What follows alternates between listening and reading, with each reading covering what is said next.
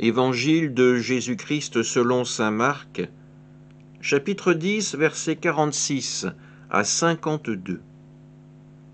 En ce temps-là, tandis que Jésus sortait de Jéricho avec ses disciples et une foule nombreuse, le fils de Timée, Bartimée, un aveugle qui mendiait, était assis au bord du chemin.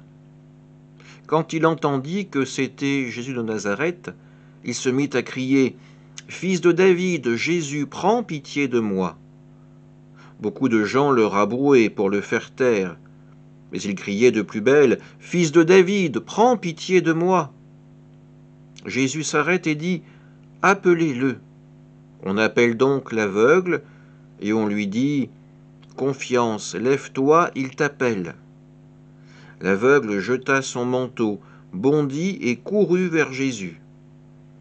Prenant la parole, Jésus lui dit, Que veux-tu que je fasse pour toi? L'aveugle lui dit, Rabouni, que je retrouve la vue. Et Jésus lui dit, Va, ta foi t'a sauvé. Aussitôt l'homme retrouva la vue, et il suivait Jésus sur le chemin. Acclamons la parole de Dieu.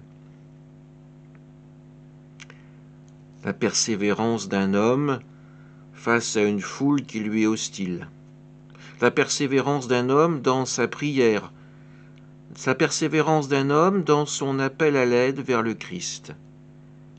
Et nous le voyons, cette persévérance trouve sa récompense. Le Christ l'appelle, et l'aveugle bondit. Il jette son manteau comme s'il jetait derrière lui tout son passé il se met à courir. Courir encore dans les ténèbres, mais au fond, une lumière commence déjà à luire. La lumière du Christ, la lumière du salut qui l'appelle et le Christ qui lui tend les bras. Une question, que veux-tu que je fasse pour toi Que je retrouve la vue? Et cette réponse magnifique du Christ, Va, ta foi t'a sauvé. Ta foi t'a permis de continuer à m'appeler. Ta foi t'a permis de trouver le chemin jusqu'à moi. Ta foi m'a permis de faire ce miracle dans ta vie. Jésus accueille cet homme comme il nous accueille également tous.